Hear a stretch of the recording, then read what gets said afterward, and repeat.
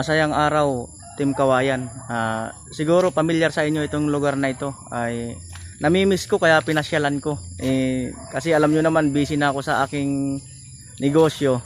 Kaya pinasyalan ko naman yung itong lugar na ito. At ako'y busy nga. So nandito ang aking ah, kaibigan. Kumustahin natin. Hmm. Ang aking kaibigan si Pop. Pop, kumusta naman ang magdamag mo? Ito, malamig dito eh. Alam naman nating malamig kasi matagal lang abroad yung asawa mo, di ba? Kaya matagal ka na malamig. Hindi, joke lang. Apop, eh, daan natin sa medyo seryoso. Ano ang maaari mong i-advise doon sa mga nagpapamilya o nagninegosyo na paangat pa lang? Eh, dapat eh, ingatan. Mm. Kung mag-uumpisa pa lang Mm. tumalago, Oo. ingatan na. Tapos, At yung mga gastusin, pag-aralan. okay. Kailangan para mga kumikita pa lamang. Parang hindi gumagana yung mga talinghaga mong salita ngayon ah. Parang load- loading ba? Loading? loading yata yung kaibigan ko.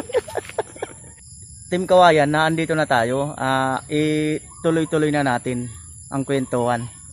Ito kasing kaibigan ko si Pop. Alam nyo ba sa May Kawayan, Bulacan, ah dati siyang ah, angat sa buhay. Ah, meron siyang pawn shop at saka iba pang mga negosyo. Po, po- noong araw na meron ka pang pawn shop saka iba pang negosyo, kumusta naman ang buhay mo noon? Ay, ginawa kami noon. Maginhawa ka noon, Ang lawag. maluwag. Na ibig sabihin, nabibili mo talaga yung gusto mo. Oo. oo.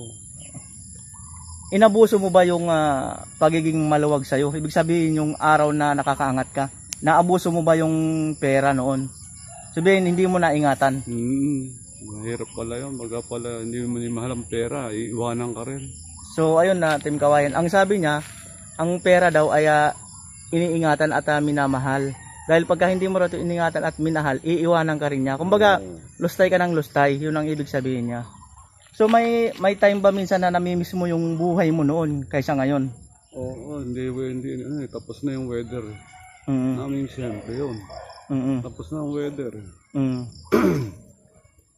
so, siyempre, eh, bumagsak yung kabuhayan mo. Ah, paano ka nag-adjust? Paano, ka, paano mo in-adjust yung sarili mo? Siyempre, dati kayong angat sa buhay, tapos biglang nawala yung mga negosyo mo. Paano mo in-adjust yung sarili mo? Doon sa unang asawa yun. Patingin sa doon. Abu Dhabi. Ah, yung asawa niya, ang pangalan ng Abu ano? Dhabi, Cora. Si Ma'am Cora sa Abu Dhabi, ah, asawa niya. Ah, tatlong taon na siya doon. Ah, Arno. ingat ka dyan. Ah, kung ano man ang iyong gawain, ingat ka palagi. Ayun, namimiss ka na ng iyong asawa. Bye-bye.